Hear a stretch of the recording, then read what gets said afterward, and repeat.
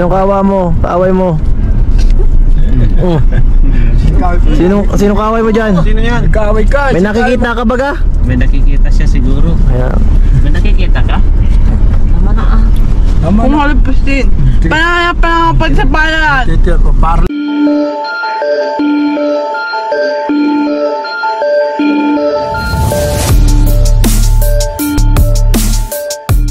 Kumusta mga kalinap? Sana ay nasa mabuti kayong kalagayan ito muli ang inyong Kuya RJ Moto. Let's give thanks to the Lord at napakaganda ng resulta ng EEG test ni Reyna at syempre kay Kailan Gaprab dahil tinutupad niya ang ipinangako niya kay Reyna na hinding hindi niya ito papabayaan hanggat hindi gumagaling ng lubusan. Kung napansin ninyo grabe ang pagkabalisa at pag-alala ni Edo kay Reyna it kitang-kita na nagdadasal ito habang ini-examine ang prinsesa at kitang-kita din ang sobrang tuwa niya paglabas ng test result hanggang sa kainan ay sobra ang pag-aasikaso niya sa prinsesa pero ito namang si Reyna ay hindi mapigilan ang sarili na kiligin sa pag-aasikaso sa kanya ng kanyang kuya Edo. Bago tayo magpatuloy mangyari lang na pakipindot ang like and subscribe button maraming salamat mga kailan gap. Ay, grabe. Magkaway ka, kaway. Dito si Eds, anong naramdaman mo kasi okay naman yung resulta? Yung parang nabunutan tayo ng tinik sa ano ta. Kasi good God safe ang ano. Yung, maganda yung ano kinilabas ng paggapan. MRI ba yun?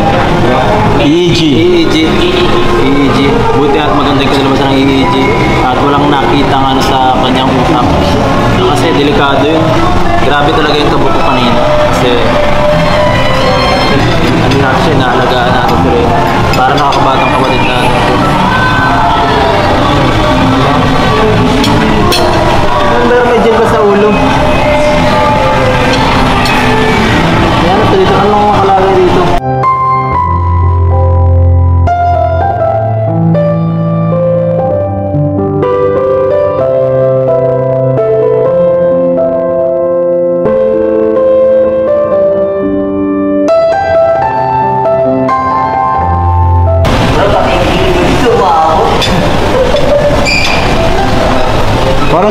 Reyna ah. Eh! kinikilig. Kung nagustuhan ninyo ang video na ito ay pakibigyan naman ako ng isang like at kung hindi pa nakasubscribe ay pakipindot na rin po ang subscribe button maraming salamat at abangan ang aking next upload. God bless po sa lahat.